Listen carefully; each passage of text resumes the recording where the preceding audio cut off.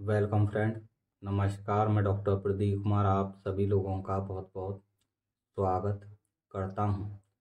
भाइयों, काफ़ी सारे लोगों के लीवर में कैंसर हो जाता है, जिससे वो काफ़ी परेशान हो जाते हैं। लेकिन काफ़ी सारे लोगों को यह पता नहीं होता है कि लीवर में कैंसर होने के क्या कारण होते हैं, जिसकी वजह से जिन कारणों से लीवर में कैंसर होता है।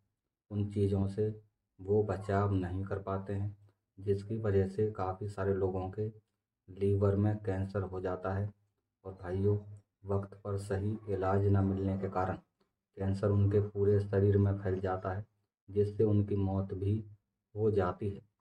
तो भाइयों, आज मैं आपको बताऊँगा कि लीवर में कैंसर होने के क्या कारण होते हैं, जिसे समझकर आप बचाव करेंगे और इस बीमारी से काफ़ी हद तक बच पाएँ। तो भाइयों, इस विषय में पूरी जानकारी मैं आपको इस वीडियो के माध्यम से दूँगा।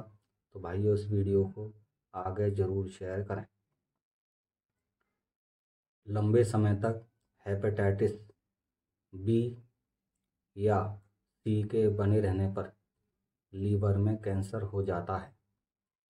लीवर सिरोसिस में लीवर में कैंसर हो जाता है।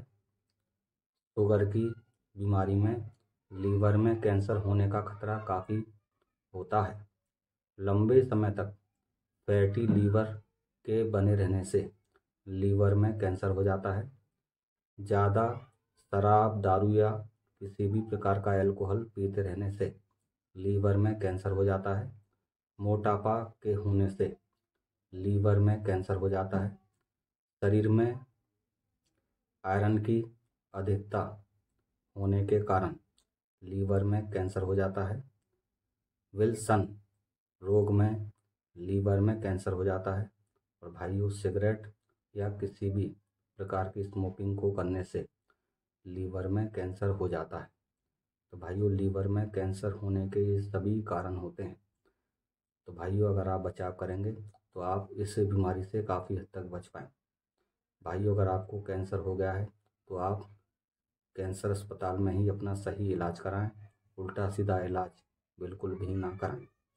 भाइयों, अगर आप मुझसे कुछ पूछना चाहते हैं, भाइयों मुझसे कमेंट करें। मैं आपके हर कमेंट का जवाब ज़रूर दूँगा। नमस्कार।